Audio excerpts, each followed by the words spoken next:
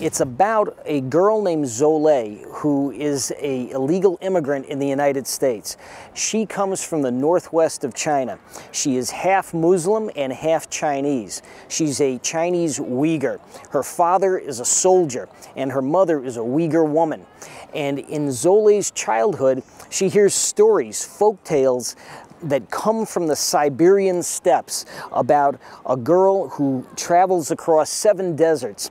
Now, Zou Lei, in a way, becomes that girl. She goes to the United States and she goes on a long journey. Along the way, she meets a young man named Brad Skinner, who's a returning vet from the Iraq War. And what they have is a tragic love story. I didn't choose them so much. I, I, saw the ending of the story first. I imagined the story as a kind of a news story.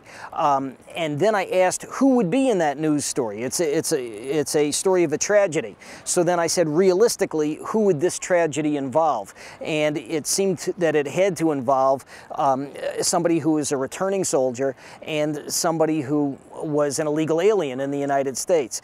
And that was how I got to my characters. I think your question is uh, getting at the idea that some veterans have not been uh, treated well after the war, that they went and sacrificed, and then when they came home, maybe they didn't get good care at the Veterans Administration, that kind of thing. Now, I have heard stories like that, and it seems that it's probably true. And it seems that under the best of circumstances, even if you have a, a, nation that welcomes you home, and even if you, you have the best possible medical care and social safety net, it's probably really difficult to return from war anyway. And that's something that a lot of war literature has talked about.